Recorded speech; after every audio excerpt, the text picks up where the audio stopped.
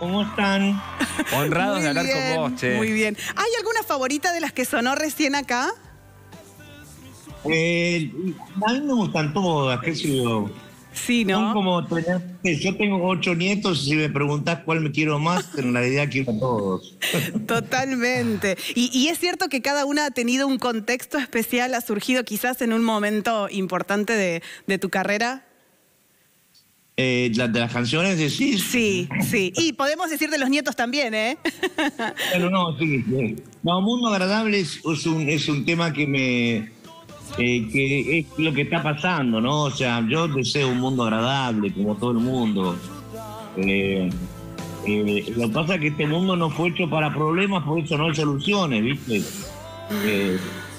Es así, o sea, yo lo veo así. No es un problema, no es un problema del mundo, sino es un problema de la gente que desgraciadamente que ha olvidado, o sea, es como que yo siento que la gente está buscando algo que nunca perdió, que es el amor.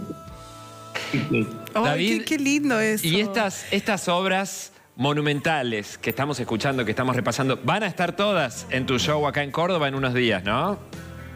No sé si van a estar todas, pero van a estar, algunas van a estar. Eh, estaba pensando en esto que vos decías recién. eh, cada vez que te escuchamos, vos estás como con mucha paz eh, en relación a todas las cosas que te han pasado, que no han sido pocas, y, y vos siempre respondes con una sonrisa y siempre respondes con esta idea de que uno puede estar mejor si busca el amor. ¿Cómo haces para tener esa filosofía de vida? ¿Estás a punto de cambiar de década o no? Yo, no sé si sos coqueto y no querés decir la edad, pero ahora falta poquito para tu cumple. ¿Cómo haces para vivir Sí. con esa paz? Ah, en realidad esa paz está dentro de cada uno de nosotros. Lo que pasa es que tenemos que eh, trabajar en eso, ¿viste? Si vos cerrás los ojos un rato, eh, eh, o sea, a ver, hay mucho ruido acá, acá en la, en- en la cabeza, mucho ruido. Eh, vos te vas a acostar a dormir y la cabeza te habla y te habla y te habla. Y la cabeza pobre no sabe mucho. El que sabe más es el corazón, eh, que no te habla, pero te hace sentir. Eh, y yo creo que, por ejemplo, a mí lo que me salvó fue la música. Yo sentí que, que- que había alguien que sabía más que yo adentro mío. Más que David, o sea, el corazón, el amor, el... Yo cuando, ah, por ejemplo, ahora vengo desde, anoche llegué de, de Neuquén, hicimos una gira bastante larga y eh, todo lo que sucedió en toda la gira fue amor, puro amor, puro amor, la gente se... Creo que en en este momento la mejor medicina que hay es la música. Eh, te escucho, te veo, te estamos escuchando y te estamos viendo. Estás nuevo. Necesitamos tu secreto para estar así en paz y para estar tan bien. Estar, eh, sí, no, bueno, no, es un secreto en realidad.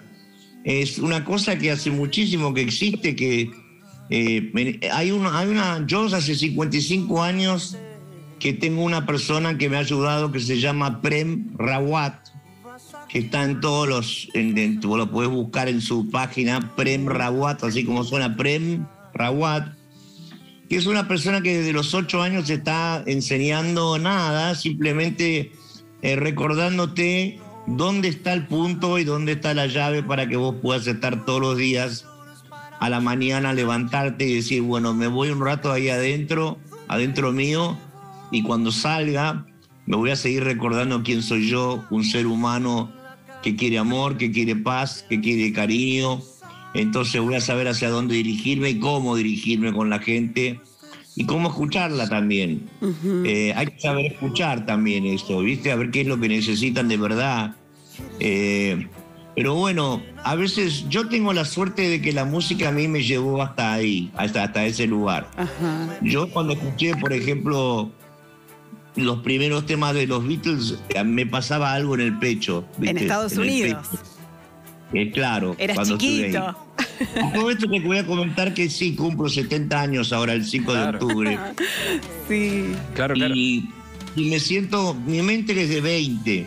Lo que pasa es que el cuerpo no me acompaña. Claro. Debería. David, vos sabés que recién nos decías, acabo de volver de Neuquén. La pregunta es, ¿a dónde volviste? ¿Dónde estás charlando con nosotros? ¿Qué es eso que estamos viendo detrás tuyo? La puerta de la salida de, de la casa. la puerta de entrada. Entrada o salida, Y depende. Yo estoy acá en la mesa sentado, charlando con ustedes cómodamente y con mucho cariño. Eh, amo Córdoba, Mm. amo Córdoba. Tengo muchos amigos muy queridos en Córdoba. Eh, inclusive tengo uno especial Un productor. que es, eh, no, es Ah. músico, se llama. Nosotros, yo le digo el Golo Cabotti. el apellido es Cabotti, es un gran músico argentino y que nosotros de, de cuando éramos más jovencitos tocábamos juntos. Y bueno, él está viviendo allá con sus hermanos y su familia. Y a veces nos vemos cuando voy y me encanta que nos encontremos. Y después están, hay mucha gente ahí que he conocido, Mome, que son músicos, eh, Néstor, qué sé yo. eh, no te digo los apellidos porque yo soy un montón. Pero Córdoba es un hermoso lugar y siempre me recibe con mucho cariño. Y sabes qué, en realidad es, un- es un... Yo siento que yo, yo me siento como si fuese un instrumento del instrumento. O sea, eh, a veces yo nunca estudié música en mi vida, no tengo ni idea. Yo simplemente quería ser uno como los Beatles, decía mi mamá. Decía, mamá, yo quiero ser eso. No sé qué, pero yo quiero ser eso, así. Eh, y ella me ayudó mucho a mí, me ayudó muchísimo con, con el tema de mi primera guitarra. eh, y yo tenía el tocadisco que era el que podías bajar a 16. O sea. Y ¿no? empezabas a jugar. Eh, claro, pero no cambia la tonalidad de la canción. Entonces yo sacaba los solos de los Beatles, de George, o los temas a una velocidad lenta para poder sacarlos bien, ¿viste? Porque tenía 75, 30, y- 45, 33 y 16 en el tocadisco. Este, Bueno, pero cuando- ponía en 16 y ahí sacaba los acordes. No, y te iba a decir, lo que te pasó con los Beatles, después cuando viniste a la Argentina, ¿con quién te pasó? ¿Quién te impactó? Porque hoy yo decía, Eh, eh, no, Sí. no sé cómo, cómo te caerá esta idea de decirte prócer, pero la verdad es que estás Y ahí, sí, sos de los grandes sí. de nuestra historia. Y te cruzaste con todos esos también. Sí, sí, yo la verdad que eh, en estos últimos tiempos, días, tiempos, eh, este último año fue muy fuerte para mí eh, a nivel ser humano. Se me fue un hijo, eh, el más grande, eh, que lo voy a extrañar toda mi vida, obviamente, toda mi vida. Mucha gente lo conoce, Taida lo conoce porque fue un gran es, sigue siendo para mí un gran artista, un gran artista que no logró hacer lo que él quería porque no se lo dejaron, porque estaba demasiado avanzado, como estuvo Jimi Hendrix, como estuvo Prince. Personajes así que realmente están componiendo cosas que por ahí no está la gente preparada para escuchar, viste por ahí. Eh, a mí me pasó cuando vine a Argentina en el 69 eh, escuché Almendra y escuché Manal y me dije, yo me quedo acá, me quedo acá. Me encantó. Después el resto de la música no era muy buena. No, no, porque no había instrumentos, no había clases de música, no había videos de Beatles, no había... ¿Entendés? No teníamos manera más revistas. Lo único que había era revistas para ver, pero no, no teníamos y bueno, Bodarte en la noche fue un programa que yo escuchaba, que ahí pasaban cosas nuevas siempre y pasaban los Beatles por ahí. Me acuerdo que escuché Hey Jude la primera vez y me quería matar. Me, voló la ¿Cómo cabeza. hacen- Increíble. Otra ¿Cómo época, hacen otro para hacer canciones tan hermosas? Claro. David, claro. recién mencionaste que, que vos no estudiaste música, ¿eh? lo dijiste con naturalidad. Eh, y es todo un dato ese, teniendo en cuenta que los propios músicos, los instrumentistas, dicen que vos sos un virtuoso de la guitarra. Todos nos damos cuenta que sos un extraordinario compositor, pero que técnicamente te lucís como, como músico, como, como instrumentista.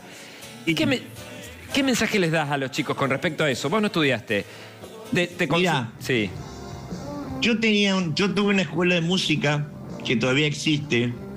Eh, fui el director, la armé junto con un amigo que me pidió por favor si yo fuese capaz de armar, ayudarlo a armarle una escuela y yo en ese momento estaba con Cerú, así que estaba complicado, pero lo hice. Y lo que, como yo no sé música, entonces lo que hice con los profesores es decirles, primero enseñarle una canción al alumno y después enseñarle la técnica. ¿Viste? Porque si no se aburren. ¿Viste? Se aburren. Si después le das la na na na na na na Las escalas. Na, na, na, ¿Viste? ¿Sabes qué? El pibe tira la guitarra a la mierda, perdón, ¿eh? Pero. Tiene sea, que ser divertido. Sí, no, es, es eh, uno, uno ya quiere tocar. Yo cuando era, tenía 13 años, yo ya quería tocar como, tocar en una banda, tocar, de hecho lo hice en la escuela, armamos una banda y, y fue, había, ponele, cuatro personas nos fueron a ver, pero no importa, ¿viste? Eran Los amigos. cuatro personas que nos estaban escuchando, ¿viste? Claro, claro. Bueno, y ahí estábamos viendo algunas imágenes de Cerú. eh, podemos hablar de Charlie, podemos hablar de Spinetta, podemos hablar de Pedro. Eh, vos, vos te das cuenta los, los nombres. Ahí agregamos el tuyo en esta lista de, de los que vinieron a cambiar la historia del rock nacional y quizás escribieron las canciones más bonitas que tenemos. Sí, bueno, yo te agradezco por por lo que me toca a mí, pero la verdad que hay compositores muy increíbles. Charlie es eh, uno de los compositores más grosos que yo escuché, eh, porque estudió música clásica y la música clásica es muy hermosa. Eh, y aparte fue profesor a los tres años de edad. Claro. No llegaba a los pedales del piano, ¿entendés? O sea, Era un niñito. Un- para nosotros soy un bebé. Tres años es casi, Sí, está saliendo de ser un un bebé. bebé. Sí. sigue siendo un bebé. Sí, ¿no? Sigue siendo un bebé. Medio, a veces es un poco desastroso, pero bueno. Sigue. Desobediente. Claro, rompe los juguetes, viste, esas cosas. Es como un chico, viste. Ex- Pero es un amor. ¿Cómo Yo le puedo asegurar de que. ¿Cómo yo, sintetizarías eh, ese vínculo a lo largo de las décadas con Charlie? Yo lo amo, lo amé, lo amo y lo voy a amar siempre. Porque él es tal cual como es. Nunca te va a mentir. Eh, y siempre va a ser real con vos. Siempre y cuando vos seas real con él. Si no, te va a comer, te comes como monstruo, ¿viste? Pero no, digo el chiste, no quiero no, que, que no lo tomen a mal. Eh, No, claro. nosotros todos tenemos personalidades, viste, distintas. Eh, Pedro es muy, como muy estudioso, muy serio con, con el trabajo. Yo soy como un tiro al aire, viste, no sé cómo explicarlo. O sea, yo confío en mí y confío en mi corazón y confío en mi, y mi- en mi creador.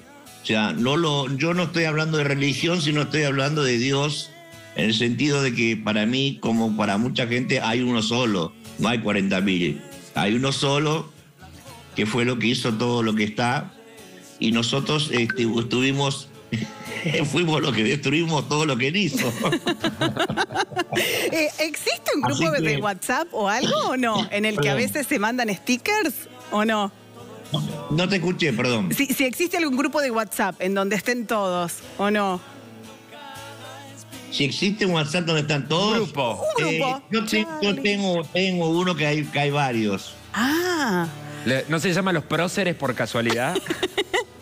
No, no, no, son los, los amigos se llaman. ay, qué lindo. En ese, Vos sabés que yo ahora tengo un amigo, tengo dos amigos nuevos que son amorosos, que me morí de amor.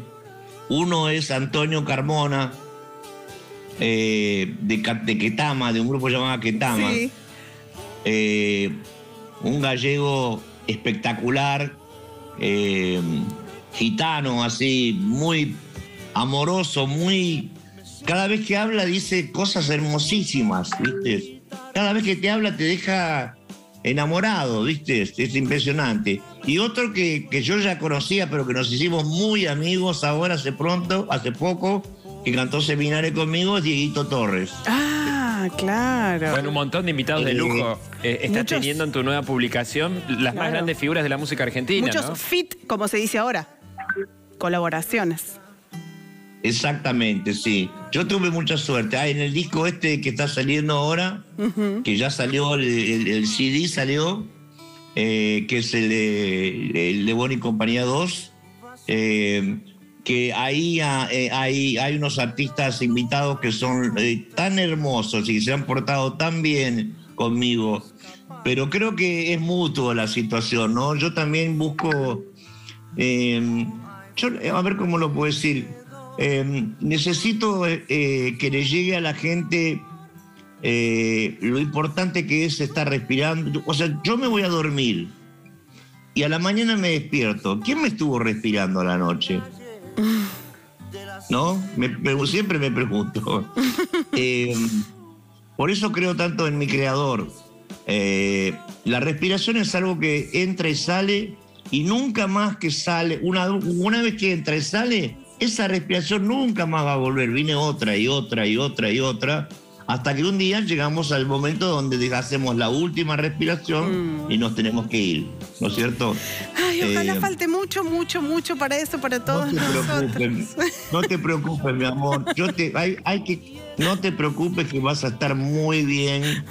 No importa cuándo sea. Ahí está la Pero clave. quédate tranquila, porque esto no termina acá. No preocuparse. Ay, David, vos sabés que mientras teníamos Ay, esta charla, sí. la cantidad de mensajes hermosos agradeciéndote por tu obra, elogiando el hecho de que seas autodidacta y así por el estilo, un montón de mensajes que salieron en pantalla. Mientras veíamos o escuchábamos, mejor dicho, en tu celu las notificaciones de algunos mensajitos que te entraban a vos Ahí está. Queda hecha la invitación ahora para Córdoba, en estos ¿eh? días, el 29. Sí, Ahí está. exacto. Ahí está. Exacto, y la verdad que con mucha felicidad voy, porque eh, fíjate vos que yo eh, tra- siempre trabajé toda mi vida y tuve la suerte de estar en grupos muy, muy lindos. Eh, pero la verdad que nunca me imaginé que a los 70 años Sony, por ejemplo, mi compañía, la más grosa para mí, ¿eh? me atienden como si fuera un chico de 14. ¿Es porque así y- te sentís? Así, sí, me- soy un tipo feliz, soy un tipo contento. Yo no, no creo en la en, eh, en- en lo que está pasando. Por eso dice mundo agradable, por ejemplo. Mm, Qué tema. Eh, yo estoy simplemente tratando de tirar una pelota como para decir, che, despertémonos, o sea, la felicidad, no nos olvidemos de la felicidad, ¿viste? No nos olvidemos que estamos respirando, que podemos soñar, que podemos vivir, amar, amar, amar, pero no solamente amar la pareja o los hijos o el auto nuevo que me compré o la casa, o el- no, no. La propia Sentir existencia. amor, vos mismo, vos mismo sentir tu propio amor, ¿viste eso? O sea, cuando respirás para adentro, ¿viste? Sentir que esto es vida, que estás viviendo, ¿viste? Bueno, si lo demás es un quilombo, no es nuestra culpa, ¿viste? ¿Entendés? David, nos O sea, lo que está pasando, yo por ejemplo soy eh, nieto de rusos y me da mucha vergüenza lo que está pasando, ¿viste? Me da mucha vergüenza porque mi abuela era rusa y era la mujer más hermosa que conocí en mi vida, ¿viste? Y Totalmente. lo que está pasando me parece tan... A esta altura de la vida donde uno debería descubrir la felicidad, estamos tirando todo abajo otra vez, eh, porque como no lo encontramos, entonces antes vamos a hacer una pequeña destrucción y listo, ¿viste? Vamos David, a tratar de buscar ese mundo agradable. no me debería, no me debería reír, pero No, entendemos, parece- entendemos. Nos quedamos saboreando tus definiciones, ¿eh? Y reflexionando retratemos. sobre ellas. Sí, eh, para Vamos. cerrar esta charla te vamos a pedir una foto, una sonrisa simplemente, cosa que hacemos con las grandes personalidades que pasan por. Seguimos. Vení, Nolito, sumate, Dale, así dale. hacemos. Es más, vamos a ver ¿Me si nos cruzo? sale la selfie. Sí, vení, Nolito, saca la Sí, voz. pero que, vos vas que a nos poder repita tomar. cómo se llama el pensador que... que- Ah, yo te lo paso Sí. ahora porque. Ay, sí, sí, sí, sí. sí. Ahora te lo paso. Mira, ahí, Ahí está. está, ahí estamos. Ahí está. Qué linda foto. Gracias.